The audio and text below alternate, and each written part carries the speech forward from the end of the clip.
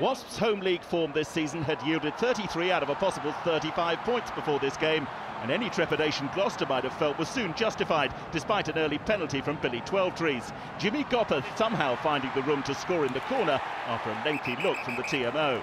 But at the end of the first quarter, Gloucester hit back and they refused to go away again for the rest of the game.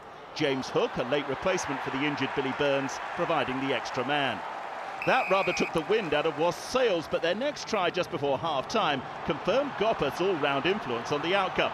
The centre steering an impressive line-out drive and then plunging over for his second try to pass 200 points for the season.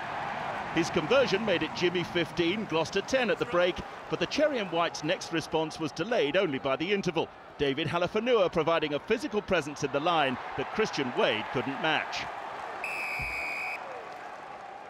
At 15 all, Wasps were in a game, but they usually find an answer at the Ricoh, and this time it was one of the tries of the weekend.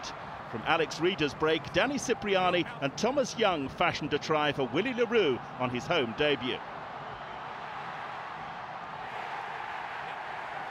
That appeared to snuff out Gloucester's resistance until 10 minutes from time, when moments after being denied a try by the TMO, Matt Scott left no room for doubt to continue a happy weekend for Scottish rugby players everywhere.